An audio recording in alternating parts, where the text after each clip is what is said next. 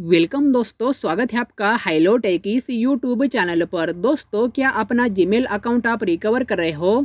और आपको वहाँ पर इस तरह से ऑप्शन मिल रहा है इंटर द कोड का। और आप यहाँ पर सोच रहे हो, हमें यहाँ पर कौन सा कोड डालना होता है? तो चलिए आज के इस वीडियो में हम दोस्तों जानते हैं, आपको यहाँ पर कौन सा कोड डालना होता है। तो चलिए जानते हैं। दोस्तों, आपको यहाँ पर वो कोड डालना होता है, जो दोस्तों आपके मोबाइल नंबर पर गूगल ने भेजा हुआ होता है। दोस्तों गूगल क्या करता है? आपकी यहाँ पर जो जीमेल आईडी होती है, इस जीमेल आईडी में आपका जो मोबाइल नंबर ऐड होता है, उस मोबाइल नंबर पर गूगल एक ओटीपी कोड भेजता है। वो ओटीपी कोड दोस्तों, आपको यहाँ पर डालना होता है।